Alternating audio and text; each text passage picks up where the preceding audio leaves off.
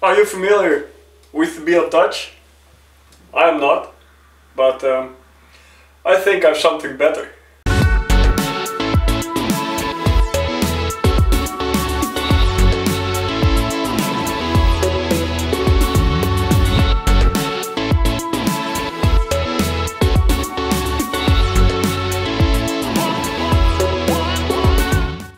Hi, I'm John from Proper Printing and in my first video I created the quick tool change. Some people have suggested to put a, a BLTouch to it so it's easier to, uh, to home. But the problem is um, if you swap out a tool then the height of the nozzle can differ between the tools. So if you swap out your tool then you well then you must adjust the C, uh, C homing position. I have used the ZEP2. I've linked to that ZEP2, this one. I've mentioned that earlier in uh, one of my videos. It's a lot of work homing the Z-axis uh, once you have, have, swapped out another hot end. So some people suggest suggested to use a BLTouch like this one. Yeah, a BLTouch isn't cheap. Uh, add a BLTouch to all of the tools and you have four tools. Then um, yeah, you have to dig a bit deeper in your pocket. I spontaneously came up with different ID, which I think works better in this uh, scenario. Yeah, that's what I'm going to talk about in this video. What I came up with, I still have to make it. I have no idea if it works.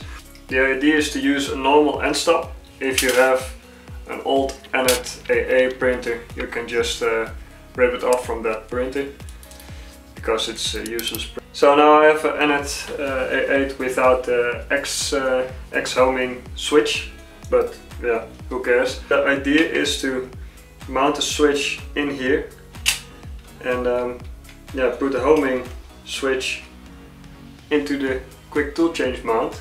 If it goes down and the tool hits the build surface, then the gantry will push it further down and um, well, switching the switch.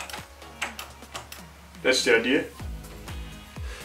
So in theory I can just uh, put any build plate of any thickness inside the printer with any tool and it will just uh, home like this and then we can start printing without even thinking any further. This is basically, well it's quite similar to this one and I've made it a bit wider and in between uh, these two slots I add two springs and yeah I have made room for a micro switch and that's basically it. Yeah let's mount this together.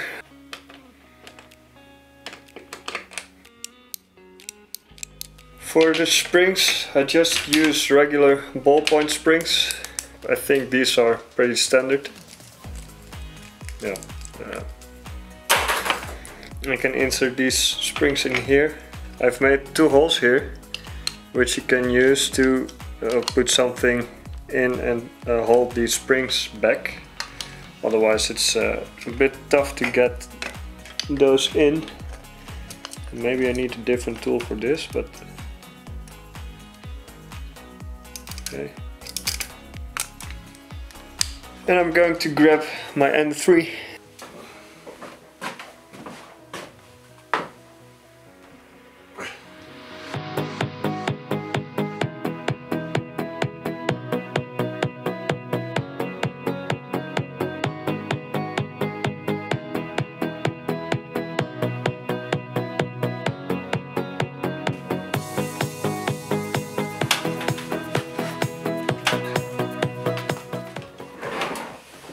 The normal Z-limit switch is placed here. I'm not going to remove it. I'm going to use that Z-stop as a fallback option. If I'm going to home and I forget to insert a tool or I use a laser cutter, then it will not touch the build plate. So this is the fallback, so it always homes. I'm going to do that by just well, soldering two extra wires from here to that switch. So it's whichever comes first will be my uh, Z-homing switch.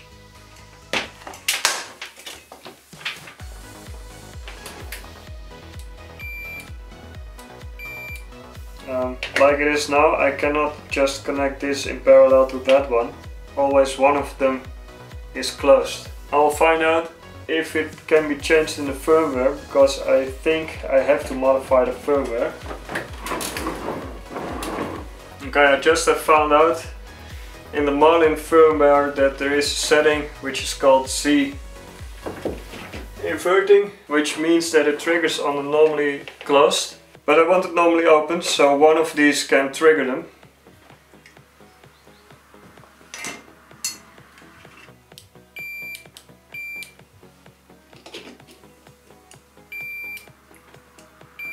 And what I've done is I have added two wires to this connector and these two wires are connected to this switch. And a switch has uh, it has three connections. One is the common the normally open and the normally closed. By default the Ender3 and most printers are um, connected through normally closed. Uh, I have to change this a bit uh, this wire here in the center uh, it was here at the upmost left. But right now if I'm going to connect this and I will turn on the printer then the printer thinks it's already at the homing position forever. And that's something we do not want. Uh, but I'm going to add this to the printer. And if I've done that then we will head to my computer uh, and add a modified firmware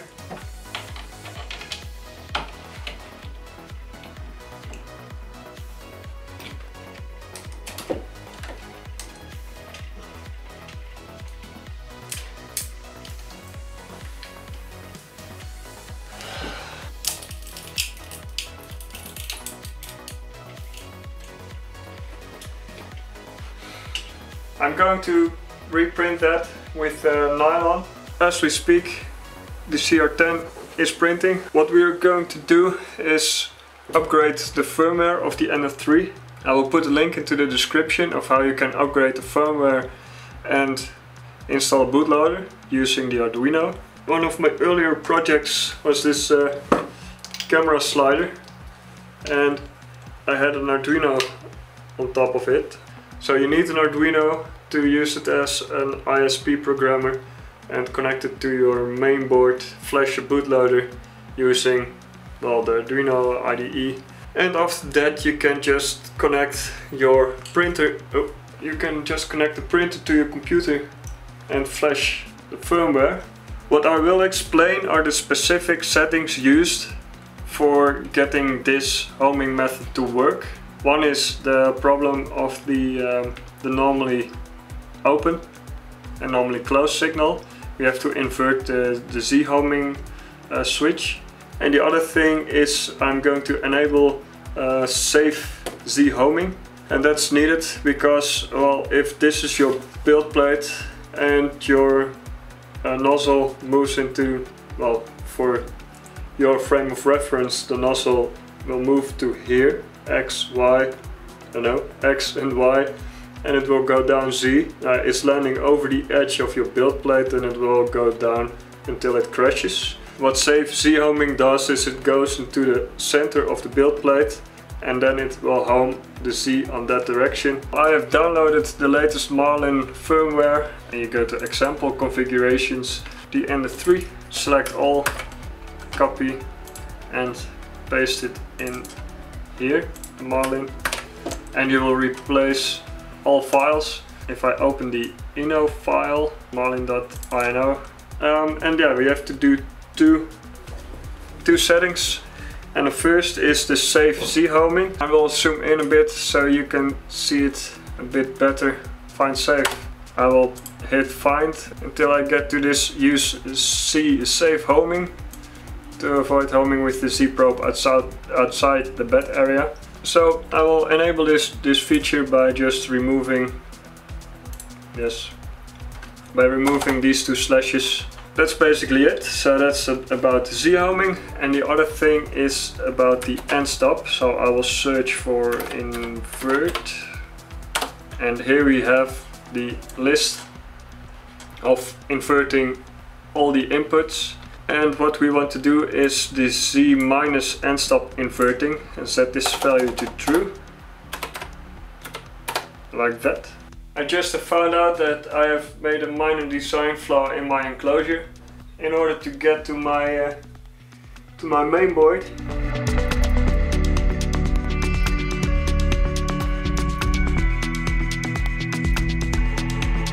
There it is.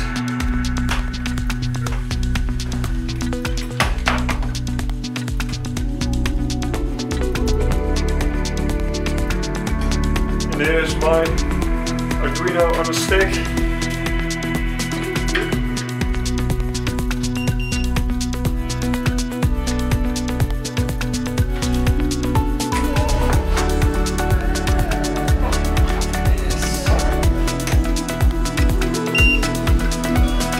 I should be able to home it and I have my finger at the off switch to make sure that uh, I can turn it off immediately if it doesn't go well.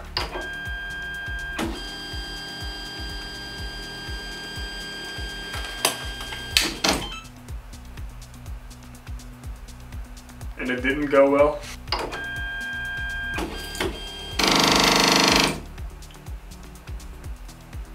Hmm, back to the drawing board. I've made this thing a bit wider and homing switch isn't ah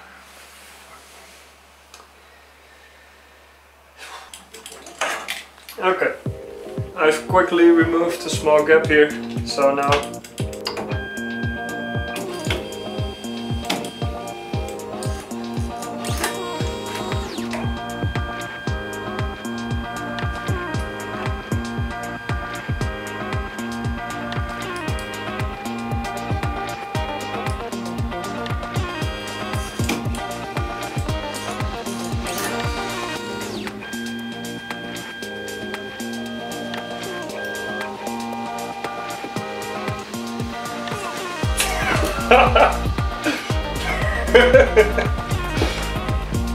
we're back at the computer.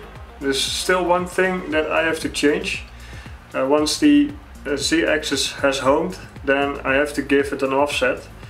And setting the z offset was a thing that wasn't in my menu, so I have to search for uh, fix underscore mounted in the configuration.h remove these two slashes so I do define the fixed mounted probe and that will enable that setting in the menu. This one has to be true as well. Z-min probe and stop inverting. Uploading.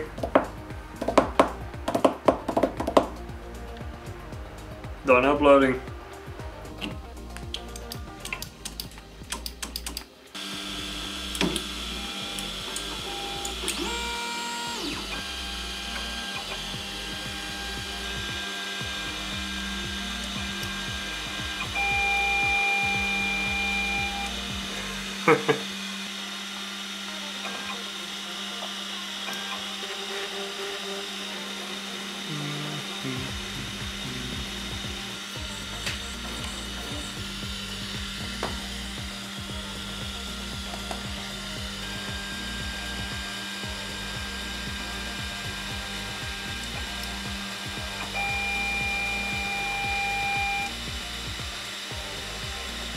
I'll get another tool and see if that will hold.